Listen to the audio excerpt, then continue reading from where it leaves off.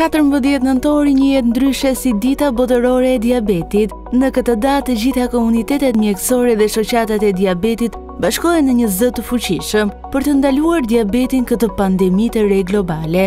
14 nëntori është vendosur për nder të ditëlindjes së Frederick Banting, i cili së bashku me Charles Best Të dy shkencëtarë kanadezë arritën të izolojnë nga pankreasi i qenit insulinën, e cila ndryshoi dhe shpëtoi jetën e diabetikëve në mbarë botën. Mesazhet kyçe kanë për qëllim rritjen e ndërgjegjësimit për zgjedhje të shëndetshme, të cilat mund të jenë zgjedhje të lehta për personat me diabet. Sëmundja e diabetit po përhapet me ritme të shpejta në vendin tonë. Çdo vit identifikohen rreth 4000 raste të reja. Situata bëhet edhe më problematike për faktin se po preken edhe të rinjtë. Diabeti është sëmundje që nuk i shfaq simptomat që në fillim, ndaj shifra e të prekurve mendohet të jetë edhe më e lartë.